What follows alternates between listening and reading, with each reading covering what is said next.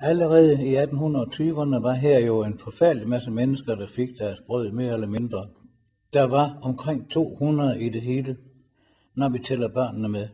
Der var nemlig mange børn ansat herude på det tidspunkt. Der skete jo det for brunerne, at øh, landmændene her på stedet, de var ikke interesseret i det fabriksvæsen. Og så måtte man jo finde nogle andre. Så var det, at øh, man kom i tanke om, at man kunne også bruge børn til det her.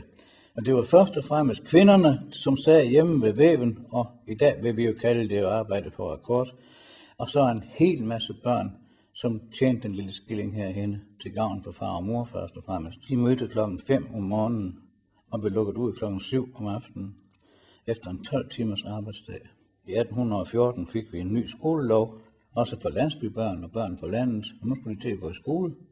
Og så gjorde brunerne jo det mesterstykke, at de opsøgte skolekommissionen, som blev født ved samme lejlighed, og foreslog, at vi kan lige lave en lille fabriksskole her. Det er da også synd, børnene skal regne så langt til for at komme i skole.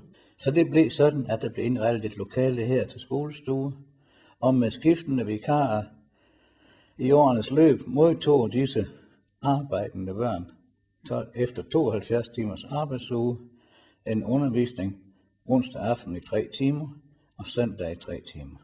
Men det skal retfærdigvis siges, at Johannes Iver Brun, som det var den Brun, der sad her på det tidspunkt, han hjalp også med at få en rigtig skole i gang senere.